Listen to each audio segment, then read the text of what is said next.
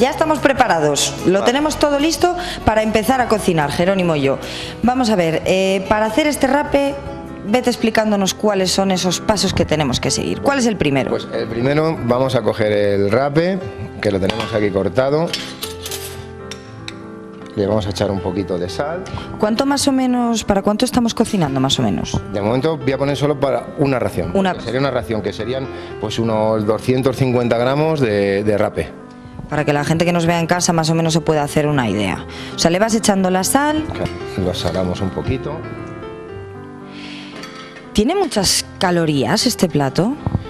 Mm, No tiene demasiadas. Eh, el rape aporta pocas calorías, evidentemente, pero donde tenemos, eh, eh, digamos, lo más fuerte en cuanto a calorías es en la salsa que lleva mantequilla y, y- y huevo, lleva la yema. Entonces, bueno, pues yo creo que contra- contrarresta mm, la carencia por un lado con, pues con la demasía que tiene quizá la mantequilla, ¿no? O sea que de postre a lo mejor mm, no podemos comer yemas.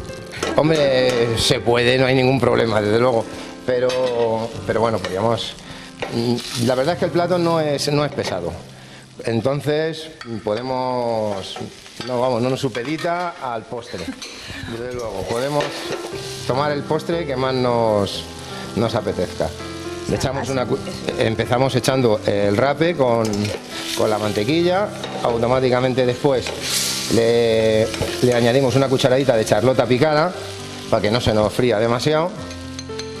Te preguntaba además antes de que nos dieran paso y, y conectaran con nosotros que no veía el aceite en los ingredientes. ¿Y por qué no utilizas aceite? Pues no utilizo aceite en este plato porque como la salsa es a base de, de mantequilla, entonces eh, prefiero echar, freírlo claro con, con la grasa con la, que, con la que he hecho la salsa, o sea, con mantequilla. O sea, que utilizamos mantequilla, nada, nada de aceite. Esto solo mantequilla. Más o menos la dificultad que crees que puede tener este plato. Bueno, pues es este plato, Fácil. Bueno, sí, O sea, es- ¿Podría hacerlo yo? sí, sí, tranquilamente. O Rodrigo o Rocío, ¿vosotros podríais hacerlo? Bueno, luego Sí, me decís si lo veis. Si sabemos hacer una mahonesa, sabemos hacer esto. Luego, después de que termine, emplatemos el plato y hayan visto todo el proceso, que me digan si se ven capaces. Y a lo mejor algún día Si tiene demasiado grasa, pues eso. La quitamos un poquito, ¿verdad? Se quita. De la grasa hay que poner lo justo. ¿Cuánto tiempo más o menos tiene que estar el rape? Pues el rape en cuatro minutos está hecho. O sea que Porque los- son trocitos pequeños y, y no tarda mucho en hacer. Todo, claro, dependerá del grosor del pescado que pongamos, Que lo- porque el corte puede ser el que nosotros prefiramos. O sea, e- esta mezcla con los cítricos, la eh, salsa de los guisantes, ¿se puede hacer con otros pescados? Sí. ¿O va mejor con el rape? No, no, no, se puede hacer con cualquier pescado. El rape eh, es un pescado que tiene bastante cuerpo, con lo cual es, Ahora el vino blanco. sí, un chorritito, ya, ya hemos visto. Entonces el pescado tiene mucho cuerpo y es, es un pescado pues, pues que no se rompe y aguanta bastante bien la forma que nosotros le hemos dado, pero lo podemos hacer pues con merluza, con mero, con cualquier pescado. A ser posible, blanco. No por nada, simplemente porque el sabor es como más suave y entonces acentúa el sabor de, de los otros ingredientes. Pero lo podríamos hacer eh, con cualquier pescado, claro. Te lo preguntaba por esto, porque como has comentado que dependía un poco del grosor del pescado, digo, bueno, por si a lo mejor alguien el rape le gusta menos y prefiere la merluza, digo, se puede hacer. Perfectamente. Aquí damos ideas para todo. Ahora esto lo tapamos y lo dejamos aquí tapado durante dos minutos. Bueno, es una manera de hablar, será menos, va No. a ser aproximadamente como 30 segundos para que sude y automáticamente le añadimos el resto de ingredientes. Te voy a preguntar porque te- tengo una curiosidad. Los Dragonfly, ¿se pueden conseguir fácilmente? Se pueden conseguir, pero fácilmente eh, no. Mm, En, bueno, pues en algunas tiendas de delicatessen, en grandes Almacenes, que todo el mundo conoce. Pues ahí mm, los podemos encontrar. Pero no es una cosa sencilla. De todas maneras, nos vale cualquier cítrico. Por ejemplo, la ralladura de mandarina, que está ahora en plena temporada y es súper aromática, pues genial. O sea, le iría mejor la mandarina que a lo mejor el limón, que porque el aspecto. Seguro, porque bueno, el limón eh, matiza demasiado, digamos, a, lo que es, a lo que es, a limón, y la mandarina tiene como más amplio el, espectro de, aromas. Entonces, a mí me gusta más la mandarina para esto. Lo digo claro porque hay gente que, claro, dirá lo mejor, pero ¿y el Dragonfly este, pues de, de, dónde lo saco yo? Pero bueno, ya le hemos dicho que en grandes almacenes, en tiendas gourmet, y si no, pues mandarinas. Eso ya ha sudado, ¿verdad? Como has dicho.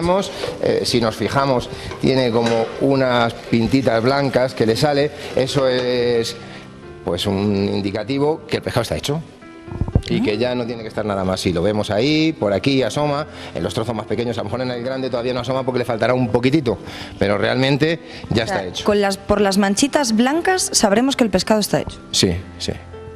Mira, eso no lo sabía yo.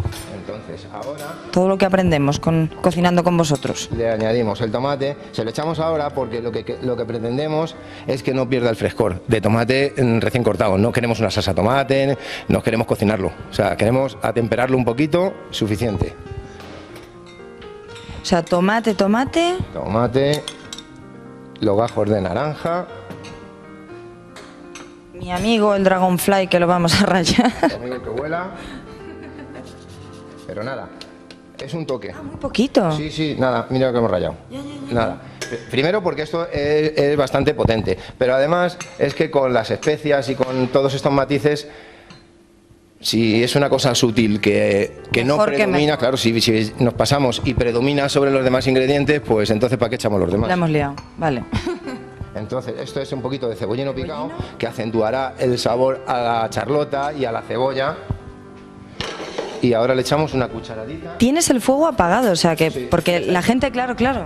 Es que ya está hecho, le echamos una cucharadita de, de los guisantes, que los guisantes están prácticamente crudos. Vemos el verdor que no ha perdido nada de la clorofila. Supongo que la salsa de los guisantes, nada, la has pasado por el chino, sin más. Le hemos pasado por, eh, por una trituradora y ya está. Ah, sin chino ni nada. Sin chino ni nada. Muy fino, muy fino. Ahora lo, movemos un poquitito, simplemente, pues para, para, que, se un poco todo y ahora ya directamente vamos a pasar a montar el plato. Muy bien, que además lo que sí que vamos a hacer es, nos has comentado antes que lo, hay que gratinarlo un poquito. Sí, hay que gratinarlo. Eh, hemos preparado una, una salsa por eso decía yo antes lo de hacer la maonesa, que se llama salsa holandesa, pero que no es más que yema de huevo batida con, un poco de mantequilla. Con lo cual sustituimos el aceite de la maonesa y estamos haciendo, lo que pasa es, la única diferencia es que esto se monta a temperado a una cierta temperatura, o sea, que, quiere decir que esté templado, no, fuerte para que se cuaje el huevo, y, y ya está. Es la única diferencia. Pues nada, nos, de momento a mí me está pareciendo fácil. A ver qué dicen luego en plato, si se van a animar, como os decía antes. Para emplatarlo, o sea, lo, va, lo, bueno, lo sirves y como decíamos, lo tienes que gratinar. ¿Durante cuánto tiempo más o menos? Esto, con esta salsa, pues va a tardar en gratinarse 10, 15 segundos. O sea, nada. Nada, nada, es este, tiempo este plato lo estamos haciendo a tiempo real, que muchas veces, bueno, excepto la salsa, pero es un plato que estamos haciendo prácticamente a tiempo real, que casi siempre lo que hacemos es adelantar algunos pasos. Lo digo también para que la gente en casa se pueda hacer una idea de que no se tarda mucho. Sí, a lo mejor en hacer la salsa de los guisantes, que es lo que estás echando, ¿verdad? La, perdón, la salsa holandesa. Es la salsa holandesa que lleva eh, un poquito del mismo puré de guisantes que hemos, que hemos echado antes aquí, que se le hemos añadido al plato. Y esto sería ya listo para gratinar. A ver, que te acompañamos a gratinarlo. Que lo tenemos aquí ya todo preparado.